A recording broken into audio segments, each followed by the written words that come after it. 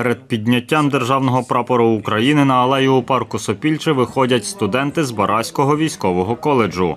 Вони у костюмах видатних діячів різних епох. У руках студентів прапори, які передували сучасному українському стягу.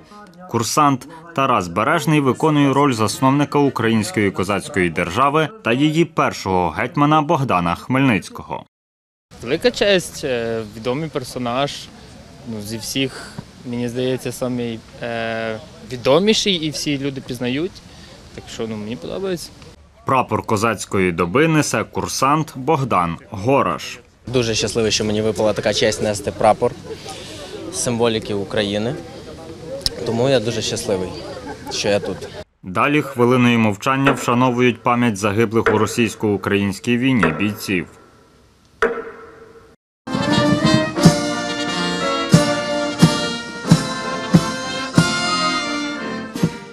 Після виконання гімну України рідним загиблих воїнів вручають державні нагороди. Орден за мужність третього ступеня передали вдові та матері старшого сержанта Петра Осадце Ганні.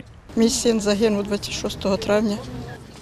Він пробув там від 14-го року.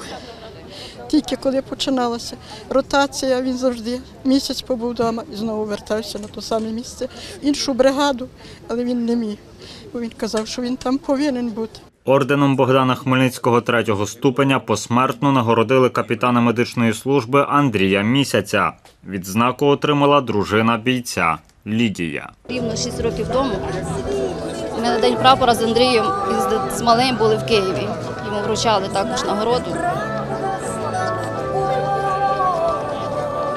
Я ніколи не могла подумати, що я сьогодні буду тут посмертно. Також орден за мужність вручили рідним солдата Олександра Пителя. Прийшли відзначити День прапора представники Росохацької групи. Саме вони в січні 1973 року вперше на Тернопільщині підняли синьо-жовті прапори. Зробили це в Чорткові. Піднімав синьо-жовтий стяг і Володимир Мармус. Каже, тоді йому було 23 роки. Знали, що така буде подія, як за кордоном тоді, наче той час відзначали роковини четвертого універсалу Центральної Ради, проголошення Української Народної Республіки.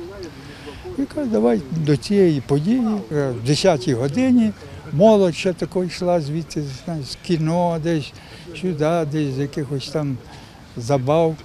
І ми в той період якраз вже наперед е, вибрали місця, щоб там не колотитися і думати, де, де це зробити.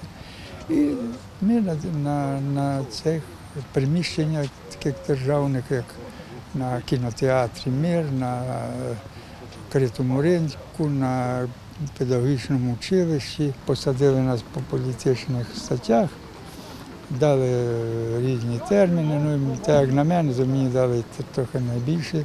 Шість таборів суворого режиму і п'ять років заслання.